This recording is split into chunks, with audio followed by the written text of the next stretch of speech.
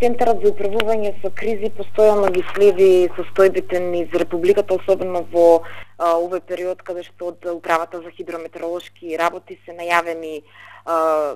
е најавен голем студ и снежни врнежи, така што сите институции, надлежни институции од страна на Центарот за управување со кризи се известени за оваа временска прогноза заради на времена реакција на истите доколку постои одредена опасност или ризик на некое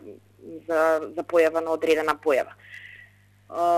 Во моментов не постојат услови за прогласување на кризна состојба, односно за некаква одредена елементарна непогода согласно времето. Меѓутоа,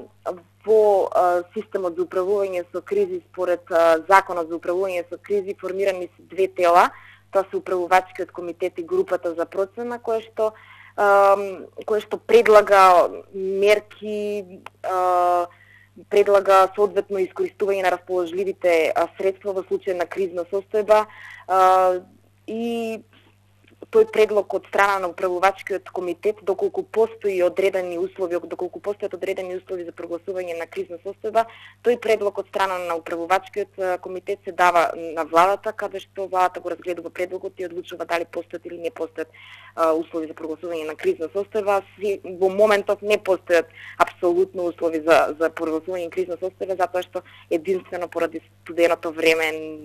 не мислам студеното време не е параметар кој што би би бил доволен за прогласување на кризна состојба. Кризна состојба се прогласува доколку се нарушени, значи постои некаква одредена опасност или ризик за здравјето или добрата на на луѓето.